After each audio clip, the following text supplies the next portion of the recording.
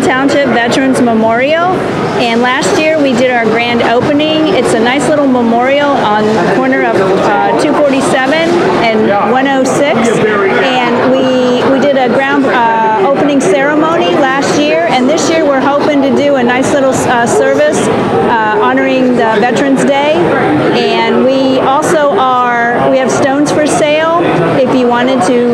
To help with the Veterans Memorial. So we have different prices, um, and if you if you're from the area and you have loved ones or someone you'd like to purchase a stone for, they are available. You can go to www.greenfieldtownshipsupervisors.org and click and click on Park, and you'll get the information.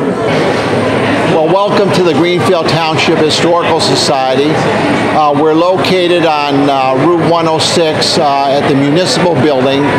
We have a museum building there and also an 1850 schoolhouse that you're welcome to visit.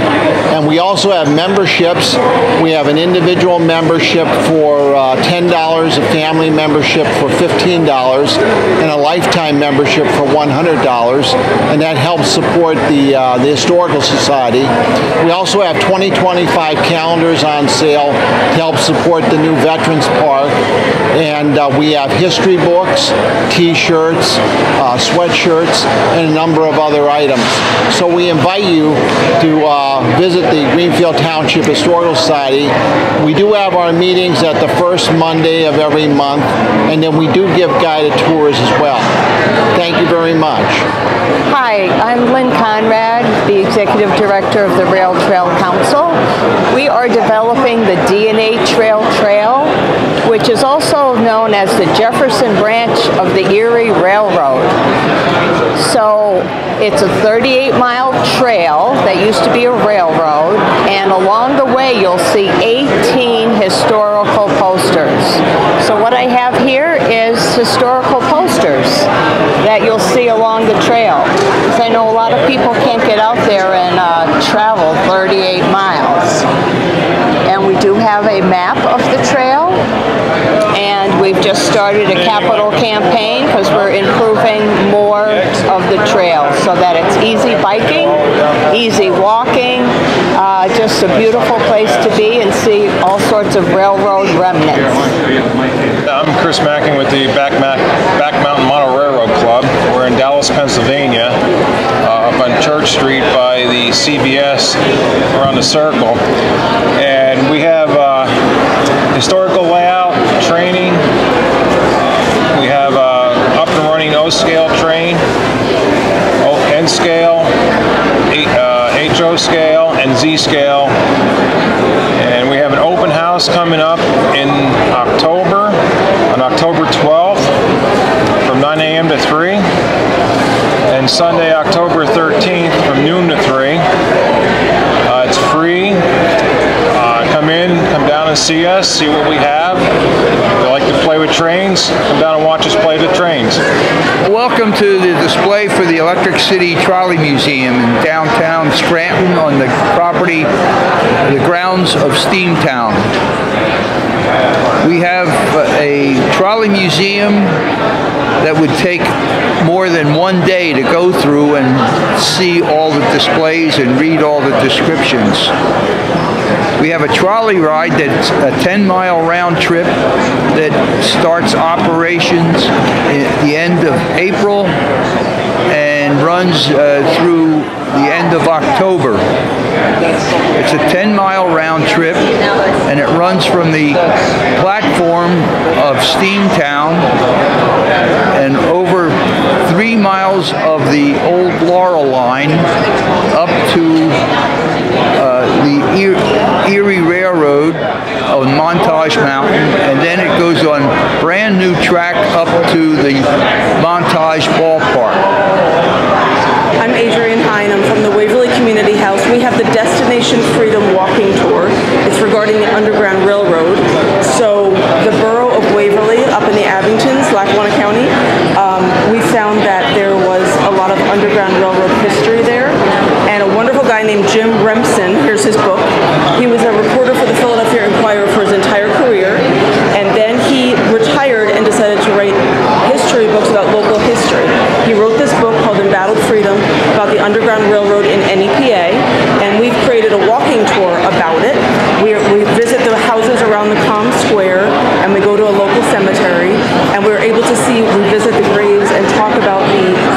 abolitionists, their families, and also the formerly enslaved people who came and settled in Waverly and then ended up joining up in the Civil War.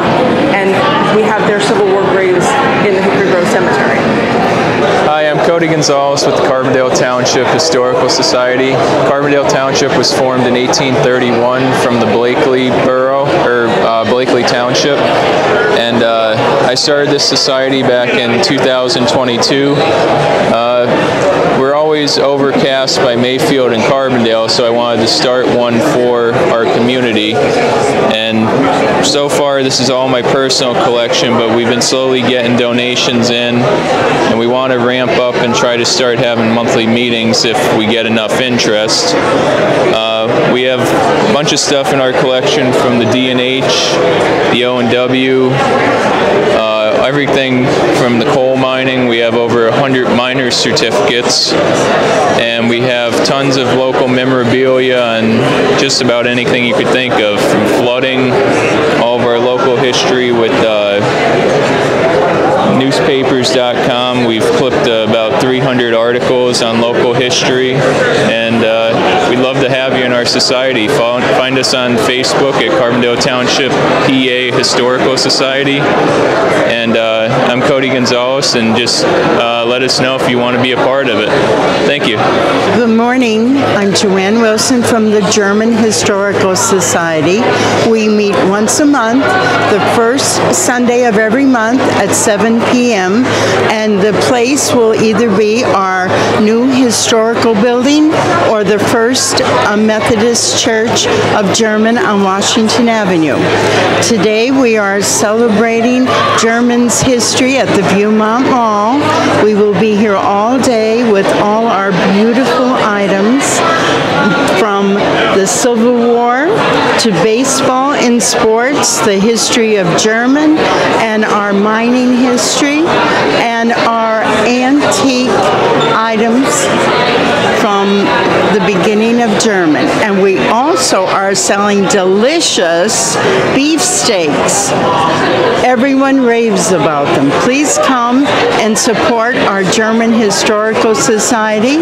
We have membership forms for you, and we are also selling memorial bricks that will be placed this spring. Please come and dedicate one to your family and your loved ones. Have a nice day, and please come and visit us. Hey, I'm Cheryl Kaiser uh, here at the Viewmont Mall for the History Fair, and I'm thrilled to be here. I'm very excited about my, my new sign. It's showing some of the services that I offer. I'm very passionate about helping families with their archive because most of us end up with boxes of stuff that we've inherited or created ourselves. So I've been enjoying uh, talking, doing programs at historical societies, small groups, and of course personal conversations and helping people with all their stuff and making sure that we have a legacy and an archive that we can pass on to future generations. I'm thrilled to be here. I'm Cheryl Kaiser. Thank you. Hi, good morning. I'm Jim Sample the United Fire Company in Montrose.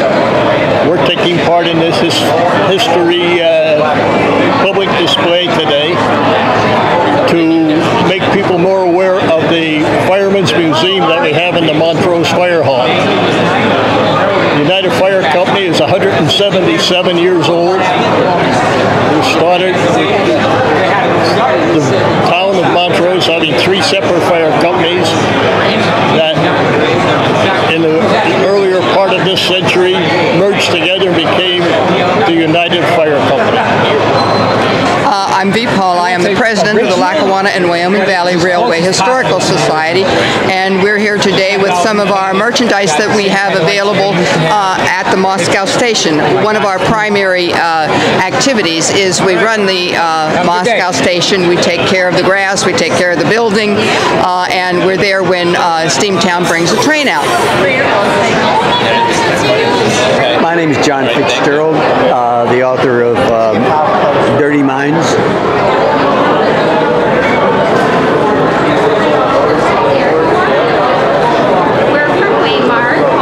I'm the historian at Steamtown National Historic Site, and it's just a display of some of the things we have at Steamtown.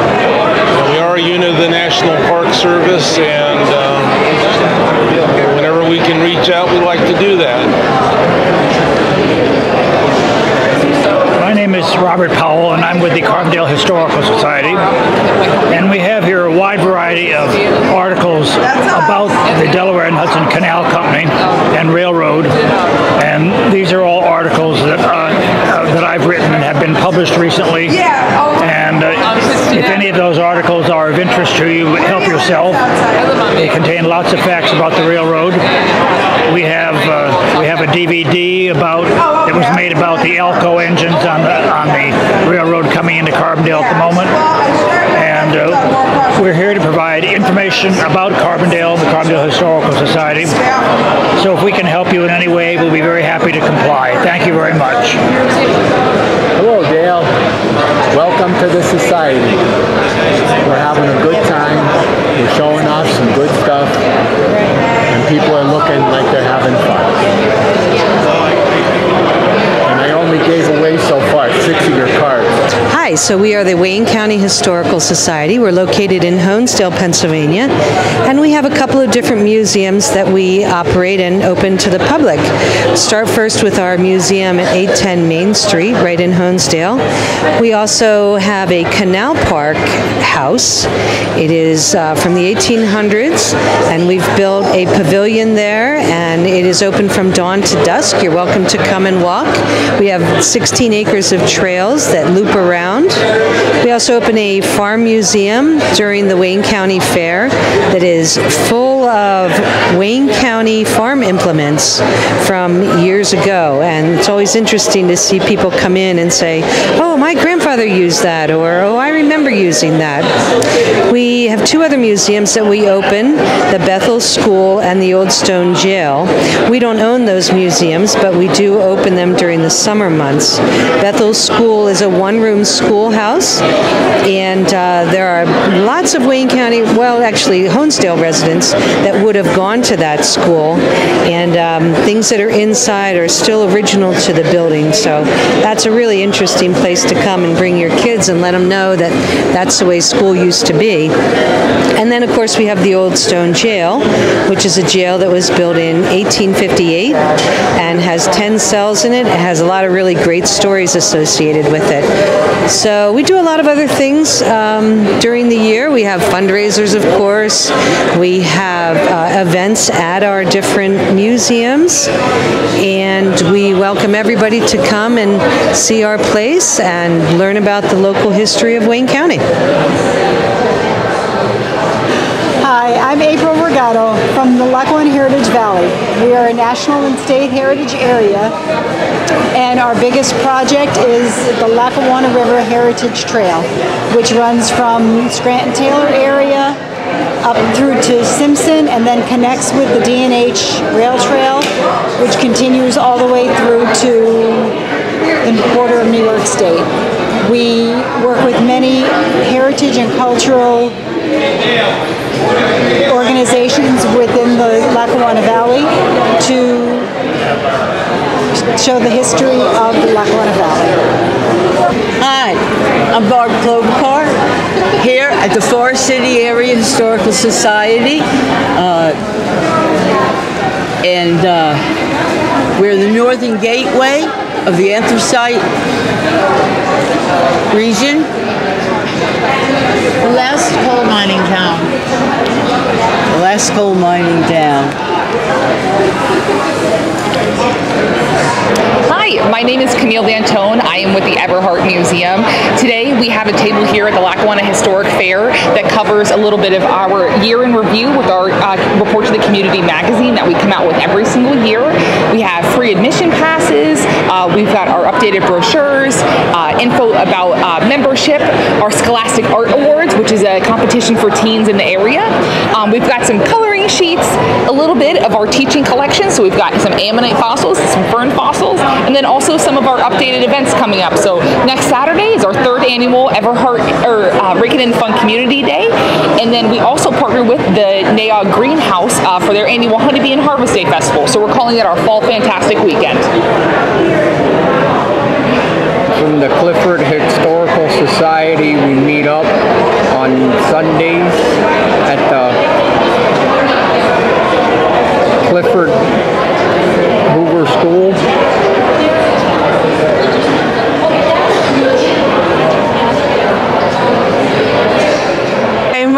Lisa Forba. I'm here representing the Susquehanna County Historical Society. Um, our display here has just a little sampling of all of the events and exhibits that we do in our society.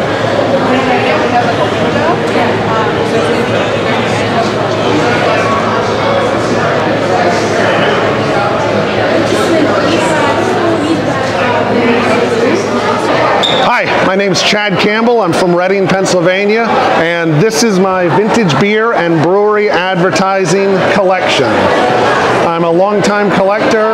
In a short amount of time, amassed a collection inside of 14 years. I buy, sell, and trade in vintage advertising, specializing in uh, beer and brewery advertising from Pennsylvania. I am always interested in buying. I offer free appraisals. Please feel free to visit my website at www.brewaf.com. Hi, I'm Mark Kahn. I'm representing the 143rd Volunteer Infantry Regiment from Luzerne County. And what you see here is uh, a medical display as well as uh, some equipment that the soldiers would have carried with them.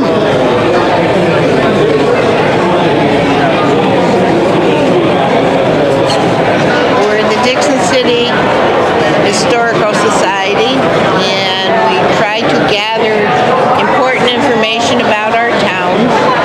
Many of us are not from Dickson City, but have taken a, great interest in the history of Dickson. And as, as time goes on, the more we learn about it, and the people of our town have been generous with old pictures and information, which really makes our organization better. Hello, I'm, my name is Alyssa Loney. I work for the Scranton Public Library. I am here representing the Lackawanna County Library System. We are promoting our different services that we have, including all of our library events, Hoopla, Libby, which are online resources, as well as the genealogy resources at the Scranton Public Library, our local history collection with yearbooks and vertical files and newspaper clippings, as well as our digitization services. So if you have a VHS or um, anything like that that you want to be put on a flash drive, we can do that as well. And then if you have any questions, feel free to contact us at 570-348-3000. Hi, my name is Julie Esty, and I'm here with my local history writings and to represent the Dunmore Cemetery Tour. We've got some Baked with Love gift sets, Stories in Stone, Murder in Scranton, the Center Street Murders, and Baked with Love. And we're having a great time here today at the local history fair. Patula, um, kind of a hobbyist of Scranton memorabilia and a little bit of everything else. Got interested in a lot of different things from Scranton's past. Decided to write some books on it out of my own interest, and it's kind of mushroomed into a general interest in all kind of Scranton memorabilia, from bottles to postcards to political pins, uh, to beer trays to beer items, anything related to Scranton history. Uh, the books have been, they found a pretty good market. People seem to find it interesting. My latest one is going to be out very soon. Uh, it's called The Faces of the Accused, and it's about uh, Scranton mugshots. I have a huge collection of Scranton mugshots, and I detail some of the interesting characters and faces, and some of the interesting crimes that were committed going back to the 1800s right up until the 1940s. Hi, my name is Kathleen Zinsky. I'm from the Scranton City chapter, Daughters of the American Revolution. I'm here to make to let people know that we are a service organization. Um, that we are here to help you if you're um, interested in joining. The criteria is you have to have a direct bloodline to uh, patriot of the American Revolution, whether that patriot fought in the revolution, whether they paid taxes, whether they um, assisted, provided food, provided clothing. We are here to help you make that journey.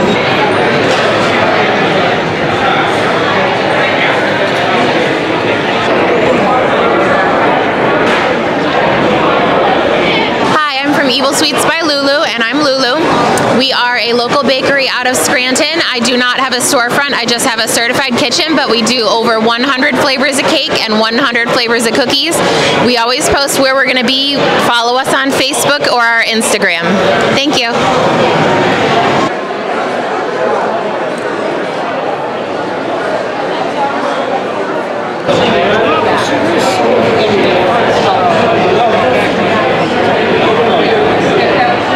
Okay, we're from the Old Forge Historical Society.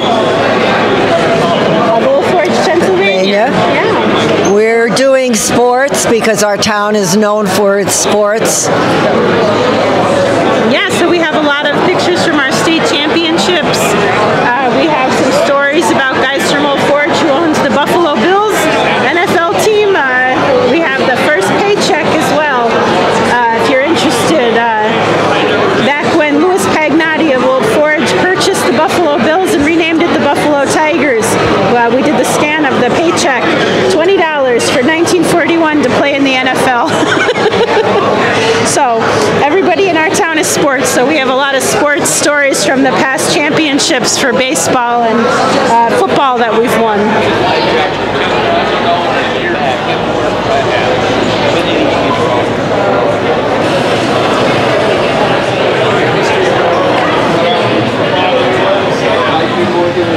My name is Janice Gavern. I enlisted out of Scranton, Pennsylvania in 1967. Um, I entered the Air Force. Later on, I was in the Air Force Reserve. I am continuing to tell the story of women veterans, particularly in Lackawanna County. And uh, this time, I'm particularly talking about World War I women veterans from Lackawanna County. There was an all-woman American Legion post in Scranton, the Gladys Watkins Post 550 in Scranton, and um, they were started by World War I women who were war nurses, some of whom actually served in France on the front lines. And this is part of my effort to continue to tell their story. Hello there. Uh, my name is Joe Claphatch. I guess I'm one of the organizers here.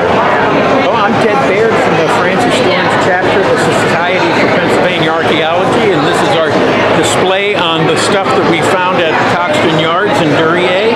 Uh, it's a small percentage of the stuff that we find, just the, the nicer looking of the stuff. Uh, we have historic and prehistoric things. We're having an open house on uh, October the 6th uh, at Coxton Yards in Duryea, and if the public is invited if you want to learn what a dig is like, what it's what's involved in doing a dig. We'd be happy to have you there.